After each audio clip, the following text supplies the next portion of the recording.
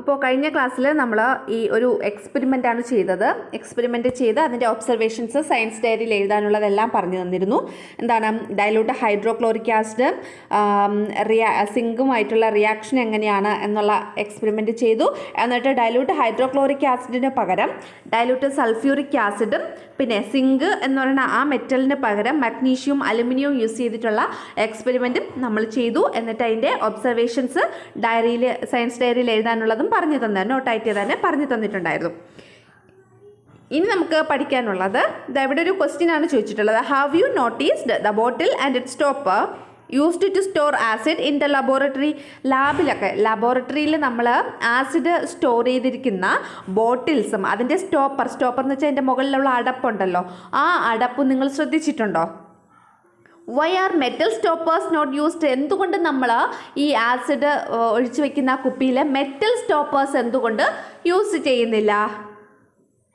അതിന്റെ ആൻസർ എന്ന് പറയുന്നത് ഇത്രയേ ഉള്ളൂ. ആസിഡ് മെറ്റലുമായിട്ട് റിയാക്ട് ചെയ്ത് അതിനെ നശിപ്പിക്കും. ഡെസ്ട്രോയ് ചെയ്യും. അതുകൊണ്ടാണ് നമ്മൾ മെറ്റൽ സ്റ്റോപ്പേഴ്സ് യൂസ് ചെയ്യാത്തത്. ആസിഡ് ഒഴിച്ചു വെക്കുന്ന കുപ്പികളുടെ സ്റ്റോപ്പറായിട്ട് നമ്മൾ മെറ്റൽ യൂസ് ചെയ്യാത്തത് അതുകൊണ്ടാണ്. എന്തുകൊണ്ടാണ്? Acid react with the metal and destroy it അതിനെ നശിപ്പിക്കും അതുകൊണ്ട്. നമുക്ക് നോട്ടായിട്ട് ഇത് എഴുതാം കേട്ടോ. അടുത്ത വീണ്ടും അടുത്തൊരു question ചോദിച്ചിരിക്കുകയാണ്. The pickles we commonly use are acidic in nature are they stored in metal containers അതായത് നമ്മൾ യൂസ് ചെയ്യുന്ന പിക്കിൾസ് ഇല്ലേ? പിക്കിൾ എന്ന് വെച്ചാൽ എന്താണ്? അച്ചാറുകൾ. അച്ചാറുകളൊക്കെ സാധാരണയായിട്ട് ആസിഡ് നേച്ചർ ഉള്ളതാണ് അല്ലേ? അസിഡിക്കാണ് പുളുപ്പല്ലേ? പിക്കിൾസ് മിക്കവാറും. അല്ലേ? അപ്പോൾ are the stored in metal containers ഇത് നമുക്ക് മെറ്റൽ കണ്ടെയ്നേഴ്സ് സ്റ്റോർ ചെയ്യാൻ പറ്റുമോ? ഇല്ല ഒരിക്കലുമില്ല. കാരണം മെറ്റലുമായിട്ട് ആസിഡ് റിയാക്ട് ചെയ്യും. അത് അപ്പോൾ അതിനെ നശിപ്പിക്കും അല്ലേ? മെറ്റലിനെ നശിപ്പിക്കും. അതുകൊണ്ട് നമ്മൾ ഒരിക്കലും pickles acid container sorry metal കണ്ടെയ്നേഴ്സിൽ എന്താണ് സൂക്ഷിക്കാൻ പാടില്ല. നെക്സ്റ്റ് ഇവിടെ പറയുന്നത് we use many substances of acidic nature at home നമ്മുടെ വീടുകളിൽ അസിഡിക് നേച്ചറുള്ള പല സബ്സ്റ്റൻസും നാം യൂസ് ചെയ്യുന്നുണ്ട്. Haven't you learn that acid react with metals നമ്മൾ പഠിച്ചു കഴിഞ്ഞു. ആസിഡ് മെറ്റലുമായിട്ട് റിയാക്ട് ചെയ്യുമെന്നുള്ളത്. ദ ഫോർ അത് അതുകൊണ്ട് metal containers are not used to store food substances containing tamarind butter milk vinegar and lemon juice അതുകൊണ്ട് മെറ്റൽ കണ്ടെയ്നേഴ്സ് നമ്മൾ ഈ ഫുഡ് സബ്സ്റ്റൻസസ് അത് ദാറ്റ് കണ്ടെയ്ൻഡ് അതായത് ആഹാര വസ്തുക്കൾ അടങ്ങിയിരിക്കുന്ന ഏതൊക്കെ അടങ്ങിയിരിക്കുന്നത്? ടാമറിൻ പുളിയും ബട്ടർ മിൽക്ക് പിന്നെ വിനാഗരി അതിന്റെ ലെമൺ ജ്യൂസ് ഇതൊക്കെ അടങ്ങിയിട്ടുള്ള ആഹാര വസ്തുക്കൾ സ്റ്റോർ ചെയ്യാൻ വേണ്ടിയിട്ട് നമ്മൾ മെറ്റൽ കണ്ടെയ്നേഴ്സ് ഉപയോഗിക്കാൻ പാടില്ല. പിന്നെന്താണ്? Some of the substances produced by the reaction of metal with acid can cause health problems അത് മാത്രമല്ല ഈ ആസിഡും മെറ്റലുമായിട്ട് എന്താ കൂടിച്ചേർന്നാൽ അവിടെ ഉണ്ടാകുന്ന എന്താണ് സബ്സ്റ്റൻസ് എന്ന് പറയുന്നത് നമുക്ക് ഹെൽത്ത് പ്രോബ്ലംസ് ഒക്കെ ഉണ്ടാക്കും. നെക്സ്റ്റ് ഒരു ക്വസ്റ്റ്യൻ ഇവിടെ കൊടുത്തിരിക്കുന്നത്. Is an aluminium vessel or an earthen pot more suitable for preparing food containing butter milk butter milk അടങ്ങിയിട്ടുള്ള ഒരു ഫുഡ് ഉണ്ടാക്കുവാണ്. അപ്പോൾ അതുണ്ടാക്കാൻ വേണ്ടിയിട്ട് നമ്മൾ ഏതാണ് കൂടുതൽ അനുയോജ്യം എന്നാണ് ചോദിച്ചിട്ടുള്ളത്. ഒരു അലുമിനിയം വെസലാണോ അല്ലെങ്കിൽ ഒരു എർത്തേൺ പോട്ടാണോ അതായത് മൺപാത്രമാണോ അലുമിനിയം പാത്രമാണോ കൂടുതൽ ഉപകാരം? ഏതാണ്? എർത്തേൺ പോട്ടാണ് അല്ലേ? കാരണം അലുമിനിയം വെസൽ എന്ന് പറയുമ്പോൾ അലുമിനിയം ഒരു ലോഹമാണ് അല്ലേ? ഒരു മെറ്റലാണ്. അപ്പോൾ അത് ഒരിക്കലും നല്ലതല്ല. എന്താണ്? ബട്ടർ മിൽക്ക് ഉണ്ടാക്കാൻ വേണ്ടിയിട്ട്. ബട്ടർ മിൽക്ക് അടങ്ങിയിട്ടുള്ള ഒരു ഫുഡ് ഉണ്ടാക്കാൻ വേണ്ടിയിട്ട് അത് നല്ലതല്ല. ഏതാണ് നല്ലത്? എർത്താൺ പോട്ടാണ് നല്ലത്. അല്ലെങ്കിൽ മൺപാത്രമാണ് നല്ലത്. പിന്നെ ഇവിടെ ഹെൻറി കാവൻഡിഷ്. ഹെൻറി കാവൻഡിഷിനെ കുറിച്ച് കുറച്ച് കാര്യങ്ങൾ പറഞ്ഞിട്ടുണ്ട്. It was discovered as early as in sixteen century that an inflammable gas is produced when some metals react with acid അതായത് ഈ ഹെൻറി കാവൻഡിഷ് ഒരു കാര്യം ഡിസ്കവർ ചെയ്തു. എന്താണ്? പതിനാറാം സെഞ്ചുറിയിൽ പതിനാറാം നൂറ്റാണ്ടിലാണ് ഡിസ്കവർ ചെയ്തത്. ഒരു കുറച്ച് മെറ്റൽസ് കുറച്ച് ആസിഡ് അല്ലെങ്കിൽ ഒരു ആസിഡുമായിട്ട് റിയാക്ട് ചെയ്തപ്പോൾ അവിടെ ഒരു ഇൻഫ്ലാമബിൾ ഗ്യാസ് പ്രൊഡ്യൂസ് ചെയ്തു. അതായത് കത്തുന്ന ഒരു വാതകം അവിടെ പ്രൊഡ്യൂസ് ചെയ്തു. This gas was first identified by the British scientist Henry Cavendish ഈ ഗ്യാസ് ആദ്യമായി തിരിച്ചറിഞ്ഞത് ബ്രിട്ടീഷ് സയന്റിസ്റ്റായ ഹെൻറി കാവൻഡിഷ് ആയിരുന്നു. It was Lavoisier who named this gas as hydrogen അതിനുശേഷം ഈ ഹെൻറി കാവൻഡിഷ് ആണ് ഈ ഗ്യാസ് ആദ്യമായി തിരിച്ചറിഞ്ഞത്. അതിനുശേഷം ലവോസിയർ ഇതിനൊരു പേര് കൊടുത്തു. എന്താ പേര്?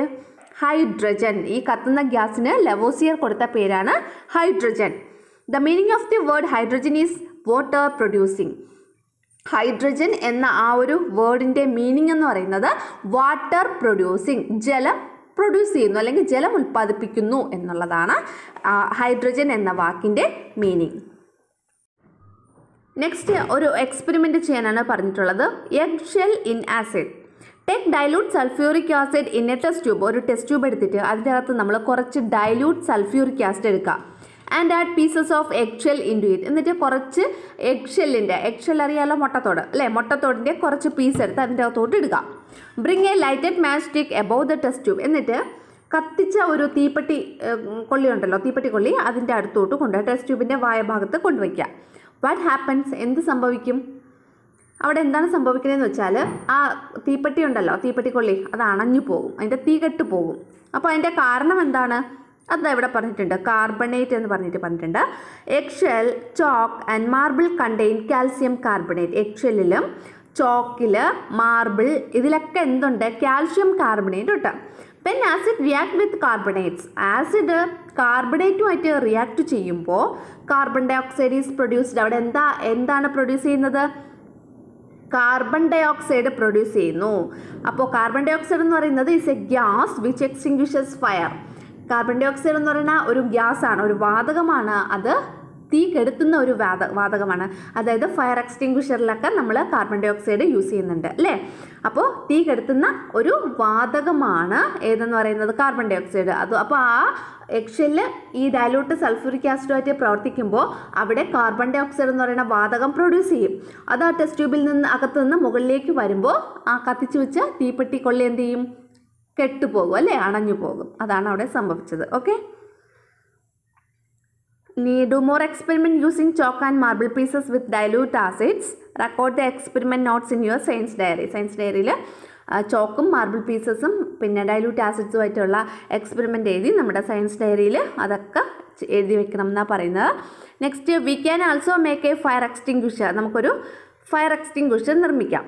അതാ ഇവിടെ പറഞ്ഞിട്ടുള്ളത്. അതിന്റെ ഫിഗർ ഇതാ ഇവിടെ തന്നിട്ടുണ്ട്. കണ്ടോ? ഇത് നിങ്ങൾ മിക്ക ചില ഹോട്ടൽസിലും ഒക്കെ പോകുമ്പോൾ നമ്മളിത് കണ്ടിട്ടുണ്ടാവും. ഇങ്ങനെയുള്ള ഫയർ എക്സ്റ്റിങ്ക്വിഷേഴ്സൊക്കെ അപ്പോൾ ഇതിന്റെ ഫയർ എക്സ് എക്സ്റ്റിങ്ക്വിഷർ നിർമ്മിക്കാൻ വേണ്ടുന്ന മെറ്റീരിയൽസ് എന്തൊക്കെയാണെന്ന് നോക്കാം.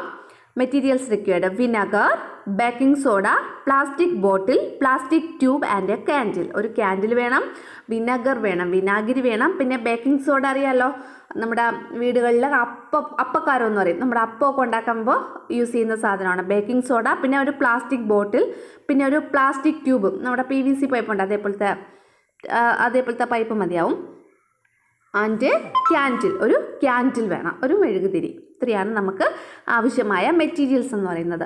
Fix a tube airtight in the cap of plastic bottle ഒരു പ്ലാസ്റ്റിക് ബോട്ടിൽ എയർ ടൈറ്റ് ആയിട്ട് നമ്മൾ ഒരു ട്യൂബ് ഫിക്സ് ചെയ്യുക fill vinegar up to half of the bottle എന്നിട്ട് ആ ബോട്ടിലിന്റെ ഹാഫ് ഭാഗം വരെ വിനാഗിരി വിനാഗിരി ഒഴിച്ച് വയ്ക്കുക pack some baking soda in a paper and suspend it from the tube at the opening of the bottle above the level of vinegar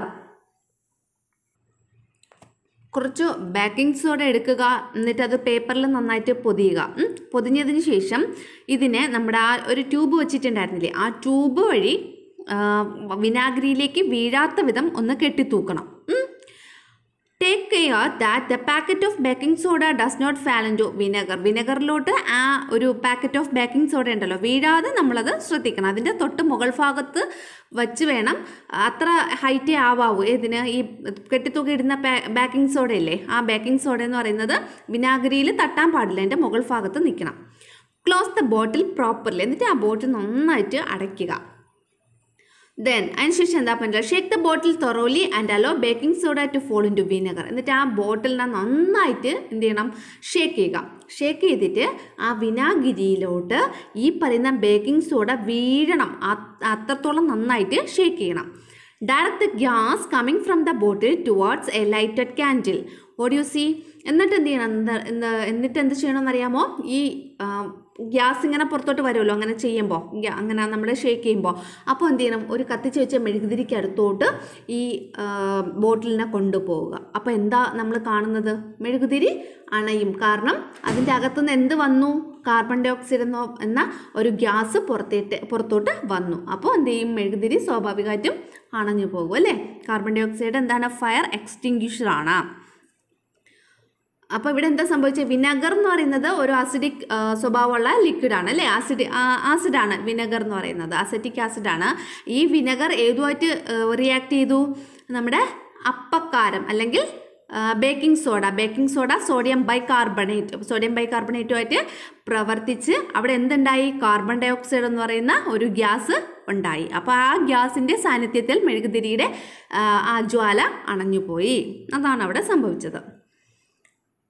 No that vinegar is acetic acid vinegar എന്ന് പറഞ്ഞാൽ എന്താണ്? Acetic acid ആണ്. Baking soda is sodium bicarbonate baking soda എന്ന് പറയുന്നത് sodium by carbonate അപ്പോൾ വിനെഗറിന്റെ chemical name എന്ന് പറയുന്നത് acetic acid baking സോഡയുടേത് സോഡിയം ബൈ കാർബണേറ്റ് അത് സോഡിയം ബൈ കാർബണേറ്റ് ആണ് ബേക്കിംഗ് സോഡ ബേക്കിംഗ് ബേ സോഡിയം ബൈ കാർബണേറ്റ് ബൈ. അപ്പോൾ അത് തമ്മിൽ കണക്ട് ചെയ്ത് വെച്ചിരുന്നാൽ മതി. Baking soda is sodium bicarbonate when they react carbon dioxide is formed ഇവ രണ്ടും കൂടി റിയാക്ട് ചെയ്ത് അവിടെ എന്ത് ഫോം ചെയ്തു? കാർബൺ ഡൈ ഓക്സൈഡ് ഫോം ചെയ്തു. The fire extinguisher works on this principle. Include the experiment notes in your science diary. Fire ex extinguisher, ഈ ഒരു പ്രിൻസിപ്പിളിലാണ് വർക്ക് ചെയ്യുന്നത്. ഇതും നമ്മുടെ എക്സ്പെരിമെന്റ് ഡയറിയിൽ സോറി സയൻസ് ഡയറിയിൽ എക്സ്പെരിമെന്റ് നോട്ടായിട്ട് എഴുതണം എന്നാണ് പറഞ്ഞിട്ടുള്ളത്. നെക്സ്റ്റ് ഇവിടെ മാജിക് ഓഫ് ദി എഗ് എഗ്ഗിന്റെ മാജിക് എന്ന് പറഞ്ഞിട്ടൊരു സംഭവം പറഞ്ഞിട്ടുണ്ട്. എന്താണത്? Place an egg in a beaker ഒരു ബീക്കർ എടുക്കുക അതിന്റെ അകത്തൊരു എഗ്ഗ് വയ്ക്കുക fill the beaker full with vinegar എന്നിട്ട് ആ ബീക്കർ ഫുള്ള് വിനാഗിരി ആഡ് ചെയ്യുക. The egg rises to the surface and then sinks egg എന്ത് ചെയ്യുന്നു? സർഫസിലോട്ട് ഇങ്ങനെ പൊങ്ങി വരുന്നു. അതിനുശേഷം വീണ്ടും താഴേക്ക് പോകുന്നു. This action keeps on repeat ഇതിങ്ങനെ കണ്ടിന്യൂ ചെയ്തുകൊണ്ട് ഇരിക്കുന്നു.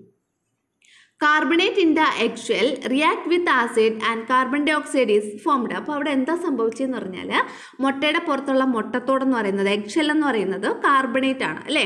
ഈ കാർബണേറ്റ് ഇതിന്റെ അകത്തുള്ള കാർബണേറ്റ് എഗ് ഷെല്ലിലുള്ള കാർബണേറ്റ് ഈ പറയുന്ന വിനാഗരി വിനാഗിരിയുമായിട്ട് എന്ത് ചെയ്യുന്നു? റിയാക്ട് ചെയ്യുന്നു. വിനാഗിരിയായിട്ട് റിയാക്ട് ചെയ്തിട്ട് അവിടെ എന്തപ്പോൾ ഉണ്ടാകും? കാർബൺ ഡൈ ഓക്സൈഡ് ഉണ്ടാവും അല്ലേ? ഈ കാർബൺ ഡൈ ഓക്സൈഡാണ് മുട്ടയെ മുകളിലോട്ട് പൊക്കിക്കൊണ്ട് പോകുന്നത്. അപ്പോൾ മുകളിൽ ചെല്ലുമ്പോൾ എന്ത് ചെയ്യുന്നു? ഈ കാർബൺ ഡൈ ഓക്സൈഡ് പുറത്തേക്ക് പോകുന്നു. അല്ലെങ്കിൽ ഈ വായുവിലേക്ക് അങ്ങ് ലയിച്ച് ചേരും. അപ്പോൾ എന്ത് ചെയ്യും? അപ്പോൾ ആ മുട്ടത്തോടിലുള്ള കാർബൺ ഡൈ ഓക്സൈഡ് പുറത്തു പോകുമ്പോൾ വീണ്ടും മുട്ട താഴോട്ട് വരും.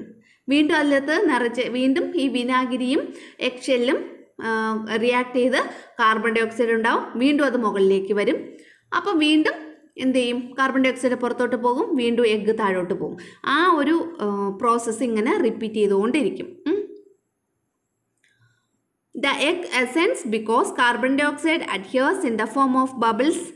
To the surface of the egg egg അങ്ങനെ മുകളിലോട്ട് ഇങ്ങനെ വരുന്നതിന് കാരണം എന്ന് പറയുന്നത് എഗ്ഗിന്റെ ഷെല്ലിൽ കാർബണേറ്റും വിനാഗിരിയും കൂടി കൂടിച്ചേർന്ന് റിയാക്ട് ചെയ്ത് കാർബൺ ഡൈ ഓക്സൈഡ് അത് അത് ഫോം ചെയ്യും. ആ കാർബൺ ഡൈ ഓക്സൈഡ് എഗ് ഷെല്ലിൽ ബബിൾസ് ആയിട്ട് ഇങ്ങനെ പറ്റിപ്പിടിച്ചിരിക്കും.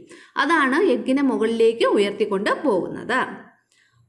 When the egg reaches the surface egg സർഫസിൽ എത്തുമ്പോൾ carbon dioxide escapes and the egg descends carbon dioxide പുറത്തേക്ക് പോകുന്നു എസ്കേപ്പ് ആവുന്നു. അപ്പോൾ എന്ത് ചെയ്യും? എഗ്ഗ് വീണ്ടും താഴോട്ട് വരും.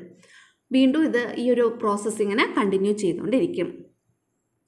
അപ്പോൾ ഇത്രയും കാര്യങ്ങളാണ്. അപ്പോൾ ഇത്രയും ഇതിലുള്ള നോട്ട്സ് നമുക്ക് ചെയ്യാം.